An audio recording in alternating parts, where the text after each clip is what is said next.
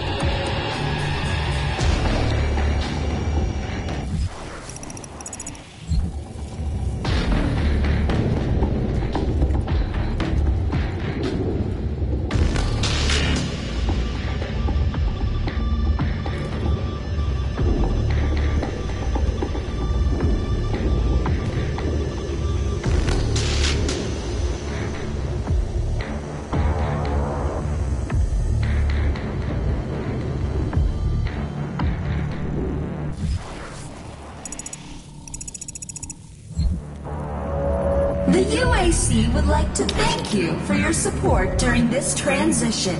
Your suffering continues to inspire us.